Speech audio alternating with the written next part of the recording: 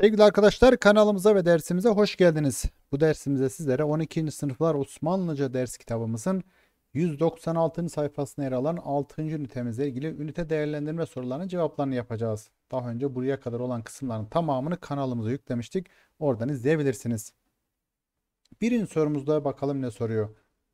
Aşağıdaki Rika hattıyla yazılmış kelimelerin hangisinde kef, elif harflerinin özel yazımına örnek yoktur? Neydi kef ve elif hatırlayın bak şu şekilde buna şuna diye okumuştuk ya onu bahsediyor. A'da bakın buna, B'de şuna, C'de pınar, sansar, bakın burada da sansar. Burada ise kainat şeklinde yazılmış. Dolayısıyla Denizli şıkkımızda normal n, 3 noktalı n sesi veren sansar kelimesinde yok cevabımız Denizli. İkinci sorumuzda aşağıdaki seçeneklerin hangisinde istiklal kelimesinin Osmanlı Türkçesi alfabesi Rika hattıyla yazılışı doğrudur şeklinde. Bakın burada istiklal İstiklal C istiklal evet istiklal istiklal burada sat var istik kef harfi gelmiş. Dolayısıyla doğru cevabımız nerede? Bakın Ceyhan istiklal şeklinde cevabımız Ceyhan olacak. Üçüncü sorumuzu yapalım. Vatan sevgisi imandandır cümlesinin Osmanlı Türkçesiyle yazılışı aşağıdaki seçeneklerin hangisine doğru olarak verilmiştir? Vatan diye bakın burada elif zaten sakat fazla olmuş. Olmaz. Sevgisi doğru imandandır. Burada da y fazla olmuş. Bu da olmaması lazımdı. Aşık olmaz. B'ye bakalım. Vatan sevgisi imandandır. Evet doğru olarak Bursa şıkkımız. Vatan derken bakın burada keşişleme yapmış. Sevgisi derken y eksik burada. İmandandır. Doğru burası. Vatan sevgisi doğru. Vatan sevgisi imandandır. Burada ne eksik? Bakın y. Tamam mı? İmandandır olması lazım. Y eksik olmaz. Yine vatan dediği için zaten bu şıkkımızda eleniyor. Cevabımız 3. sorumuzda Bursa oldu. Dördüncü sorumuzda harfler veriliyor. Bu harfleri kullanarak aşağıdaki kelimeler hangisi yazılamaz şeklinde. Bakın tahküm ya da tahakküm, ehkam, hukema, hakim, e, hükmen şeklinde kelimelerimizi yazmış. Burada ha, elif, mim ve kef harflerimiz var. Burada sevgili arkadaşlar hangisi yazılamaz? T bakın. Tehakküm dediği için burada T var mı? Yok. Dolayısıyla T yazılamaz. Cevabımız Adana. B bölümünde aşağıdaki metinde boş bırakılan yerleri parantez içine verilen uygun ifadelerle Rika hattıyla yazarak doldurunuz diyor. Okuyalım. Evvelki gece buraya Şehzade başında Şehzade Paşa da isim de olabilir burası. Şehzade başında oturuyorduk. Şiddetle kar yağıyordu dedikten sonra ikinci boşluğumuza sevgili arkadaşlar heva bakın hava bunu buradan alacağız buraya getireceğiz hava buz gibi soğuk fırtına kıyametler koparıyor sokaklarda dedikten sonra aşağı geçmemiz isteniyor.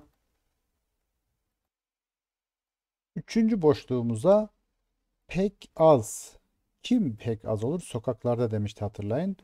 Sokaklarda gelip geçen pek az. Devamını okuyalım.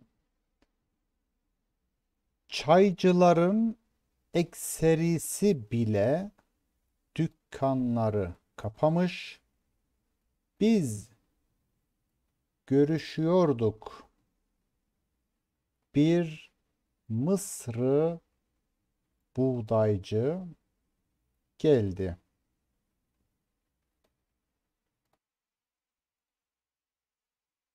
Mini mini siması yaşlarında. O da sayı olarak bakın bu var. Onda bir 11 pardon 11 yaşlarında bir çocuk şeklinde.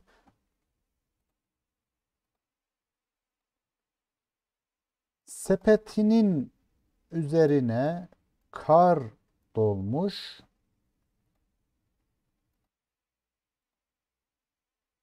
Yüzü bir kırmızı elmaya dönmüş. Ne diyeceğiz? Soğuktan değil mi? Soğuktan bir kırmızı elmaya dönmüş.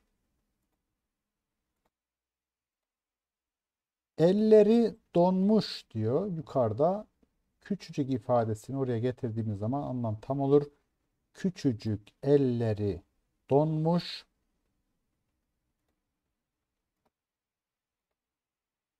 Ceketi su içinde titriyor. Galiba soğuktan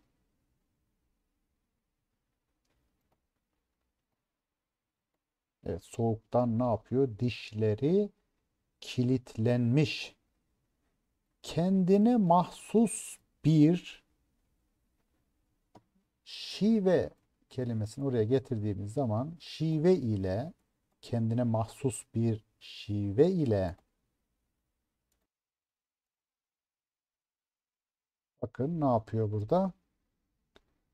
Kendine has bir şive ile mışır, buğday hani mısır buğday demişti ya mışır, buğday e, demeye bile suubet çekiyor. Yani zorlanıyor diyor. Ma'afiye şuraya getirdiğimiz zaman ma'a mafiye yine yüzü gülüyor. Ne yapsın?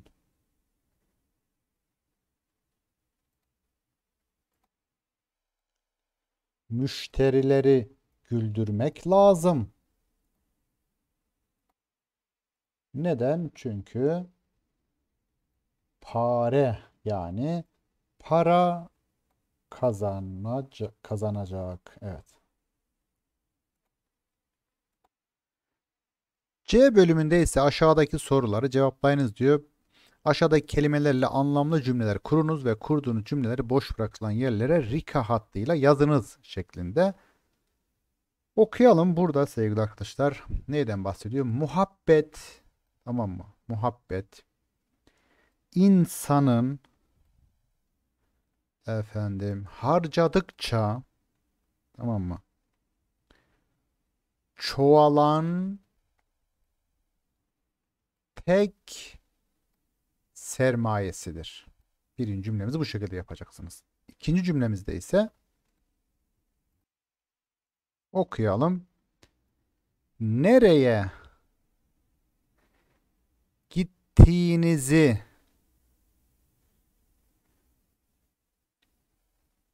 bilmiyorsanız tamam mı? Nereye gittiğinizi bilmiyorsanız ne yaptığınızın önemi yoktur. Evet, burayı da bu şekilde tamamladık.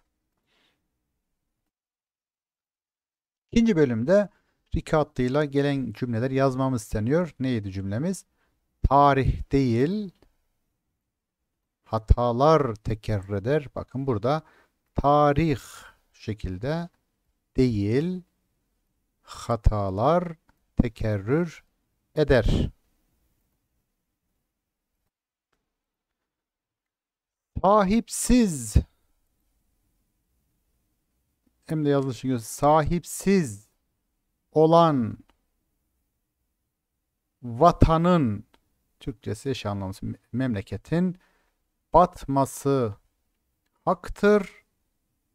Sen sahip olursan bu vatan batmayacaktır. Sevgili arkadaşlar bulmacamızı biraz çözmeye çalıştım ancak bulmacayı tamamlayamadık. Neden derseniz bakın şimdi Mevlana'nın çok güzel sözü topraktan geldik toprağa gideceğiz. Mühim olan çamurlaşmamak diyor.